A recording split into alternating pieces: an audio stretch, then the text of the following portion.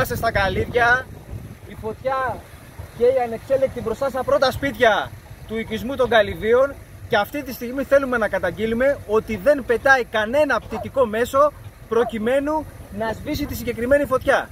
Οι ευθύνες είναι τεράστιες. πρέπει η κυβέρνηση, το κράτος να πάρει τώρα όλα τα απαραίτητα μέσα προκειμένου να προστατεύσει και τις περιουσίες και τις ζωές των κατοίκων.